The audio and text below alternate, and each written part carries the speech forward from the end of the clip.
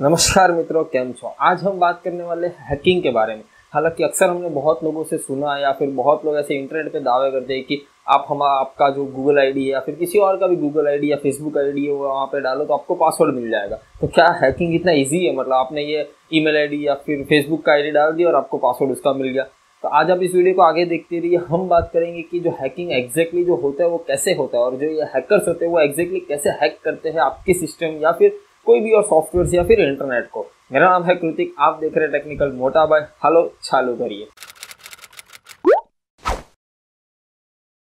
मित्रों, सबसे पहले हम बात करें अगर हैकिंग की तो हैकिंग जो होता है वो दो टाइप से होता है। अभी दो टाइप का मतलब वैसे तो बहुत सारी टाइप्स होती है, लेकिन ये दो टाइप जो है, उसके हिसाब से हम डिफ्रेंशिएट कर पाते हैं कि हैकिंग जो है वो कैसे हुआ। पहला जो होता है, वो तो होता है कि आपकी परमिशन के थ्रू हैक हुआ है। मतलब समझो फॉर एग्जांपल हम हमारे मोबाइल एंड्रॉयड मोबाइल्स में अगर समझो हमको एप्लीकेशन को इंस्टॉल करते तो वो टाइम पे जो है, वो आपका जो एप्लीकेशन जब हम फ़र्स्ट टाइम उसे ओपन करते तभी वो हमारे पास एप्लीकेशन की परमिशन माँगता है। जैसे कि वो आपके कॉन्टैक्ट को एक्सेस कर सकता है या फिर आपके कैमरा को एक्सेस कर सकता है। तो ऐसे जो अलाव या डीना वैसा ऑप्शंस माँगता है। मतलब हम जब भी उसे अलाउ करते हैं तो उसका मतलब होता ये है कि वो जो एप्लीकेशन है, वो आपके वो पर्टिकुलर फ़ंक्शन को यूज़ कर पाएगा तो अभी समझ लो फॉर एग्जांपल अगर आपने व्हाट्सएप को इंस्टॉल किया तो व्हाट्सएप इंस्टॉल करने के बाद वो आपको कॉन्टैक्ट्स या कैमरा वो सब की परमिशन माँगता है, क्योंकि उसे वो फ़ोटो खींचना होता है या फिर जो हमारे कॉन्टैक्ट्स होते हैं, उसका उसको ज़रूरत पड़ती है, इसीलिए वो दोनों की परमिशन माँगता है। तो वैसे ही समझो इंटरनेट पे बहुत सारे ऐसे एप्लीकेशन होते हैं, जिसके थ्रू वो आप हैकर्स जो होते हैं, वो आपको हैक कर सकते हैं। अभी फॉर एग्ज़ाम्पल समझ लो, अगर हम कोई फ़ोटो एडिटिंग का टूल जो है वो हमने डाउनलोड किया, फिर एप्लीकेशन हमने डाउनलोड किया। तो अभी फ़ोटो एडिटिंग टूल जो है, उसको कॉन्टेक्ट से क्या लेना देना लेकिन फिर भी वो क्या करता है, वो आपके कॉन्टेक्ट जो है या फिर कोई आपकी इंटरनल सिस्टम्स की फाइल्स है उसकी एक्सेस आपके पास मांगते हैं और हम जो है वो बिना देखे उसे अलाउ कर देते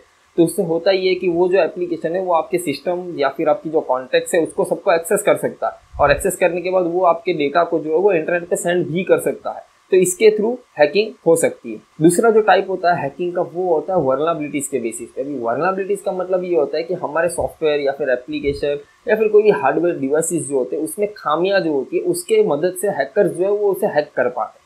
अभी ये जो वर्नाबिलिटीज होती है, उसमें कैसा होता है, मैं आपको बता रहा हूँ। अभी समझ लो आपका कोई एक एप्लीकेशन है। अभी वो एप्लीकेशन में समझो कोई एक्स वाई जेड वर्नाबिलिटीज उसके अंदर है, वो आपको पता नहीं। तो हैकर क्या करते हैं? वो वर्नाबिलिटीज को पहले तो आइडेंटिफाई करते हैं कि वो वर्नाबिलिटी कहाँ पे है। और वो वहाँ पे है, उसको अगर पता भी चल जाता है तो उसके बाद वो करते हैं एक्सप्लॉयड करते हैं। एक्सप्लॉयड मतलब उसमें इन्फॉर्मेशन निकालने की ट्राई करते हैं। उसमें होता क्या है कि आपने वो एप्लीकेशन जो है, वो कौन सी लैंग्वेज पे क्रिएट किया या फिर आप उसमें जो भी एंटर करते हो, वो पीछे जाके क्या होता है? सर्वर साइड उसका वैलिडेशन क्या होता है? फिर या फिर सर्वर में जाके वो जो चीज़ है, वो क्या होती है, क्या नहीं होती? उसके हिसाब से एक्सप्लॉयड क्रिएट करना पड़ता है। और वो एक्सप्लॉयट के थ्रू वो पेलोड के थ्रू वो जो हैकर जो होते हैं, वो उसको एक्सप्लॉयट कर पाते हैं। मतलब उसे हैक कर पाते हैं इन शॉर्ट तो अभी बहुत लोग ऐसा कहते हैं कि भाई एक एप्लीकेशन है, ये डाउनलोड कर लो, इससे तुम कोई भी वाईफाई को हैक कर सकते हो। या फिर ये जो एप्लीकेशन है, उसके अंदर आप अपना जी मेल या गूगल आईडी डाल दो, उसके थ्रू आपको डायरेक्ट पासवर्ड मिल जाएगा। तो अभी आप एक थोड़ा सा एक लॉजिक थिंकिंग करें अगर हम तो ये गूगल या फिर फेसबुक या फिर जितनी भी बड़ी बड़ी कंपनियाँ हैं, वो सब क्या करती है, एक पूरी सिक्योरिटी टीम रखती है। ताकि कोई भी चीज़ जो है या फिर कोई भी जो हैकर जो है उसे हैक ना कर पाए। तो आप एक लॉजिक थिंकिंग करो कि इतना ईजी अगर होता हैक करना तो फिर कोई भी आजकल कोई भी आपकी आईडी को हैक कर लेता।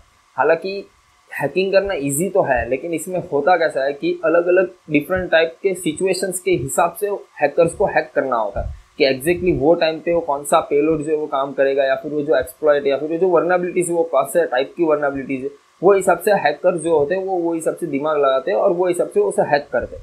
तो ये जितने भी इंटरनेट पे जो एप्लीकेशंस या फिर हमारे मोबाइल के अंदर जो एंड्रॉइड एप्लीकेशंस होते हैं कि भाई ये डाल दो, तुम हैक हो जाओगे या फिर ये डालने से तुम किसी को भी हैक कर सकते हो तो ये सब चीज़ जो होती है वो नाइन्टी परसेंट गलत होती है। हाँ अभी एक वाई वाईफाई का जो एक एप्लीकेशन है, बहुत सारे एप्लीकेशन है वैसे तो जिसमें डब्ल्यू पी एस पिन के थ्रू वो आपको वाईफाई हैक करके देते तो हाँ उसमें एटी परसेंट चीज़ सच्ची है, क्योंकि वो जो एप्लीकेशन है वो करता क्या है वो आपके राउटर में अलग अलग टाइप की WPS जो पिन्स होती है, वो पिन्स को वो एंटर करते रहते हैं। मैंने हालाँकि एक WPS पिन के ऊपर एक वीडियो बनाई अगर आपने नहीं देखी तो आप इस आइकन को क्लिक करके देख सकते हो कि जो डब्ल्यू पिन्स होती है, वो कैसे काम करती है। तो ये जो एप्लीकेशन होता है, वो क्या करता है? बहुत सारी पिन्स को ट्राई करते रहता है राउटर के अंदर डालने की। तो कोई एक आध पिन जो है, वो अगर एक्सेप्ट हो गए तो आप उस राउटर में डायरेक्टली कनेक्ट कर सकते हो। तो मतलब वो थोड़ा सा लेजिमेट है, लेकिन अभी ये जो राउटर फॉर्म्स है मतलब ये टीपी लिंक है डी लिंक है, इन लोग ने क्या किया, वो जो डब्ल्यू पी एस पिन का एंटर करने का जो टाइम है, उसे उन लोगों ने लॉक कर दिया। मतलब ज़्यादा से ज़्यादा तुम तीन बार, पाँच बार ही उसे यूज़ कर सकते हो। उसके बाद अगर तुम और ट्राई करते जाओगे तो वो उसे लॉक कर देगा। डब्ल्यू पी एस जो फंक्शनलिटी है, उसे ही वो लॉक कर देता। है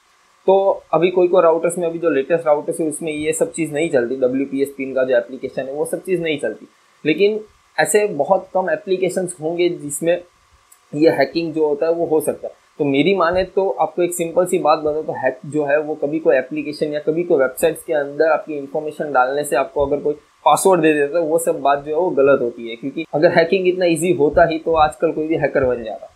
तो उम्मीद करता हूँ कि आपको हैकिंग क्या होता है, वो कैसे होता है हैकर्स जो है वो क्या क्या करते हैं, उसके बारे में आपको थोड़ी सी जानकारी मिल गई होगी। अगर आपको कोई भी सवाल या फिर कोई भी सुझाव मुझे देना चाहते हैं तो नीचे कमेंट करके मुझे बता सकते हैं। और अगर आपने इस चैनल को सब्सक्राइब नहीं किया तो जब से सब्सक्राइब कर दीजिए, क्योंकि मैं ऐसे ही टेक्नोलॉजी के ऊपर वीडियो बनाते रहता हूँ। फ़िलहाल के लिए इतना ही, आउज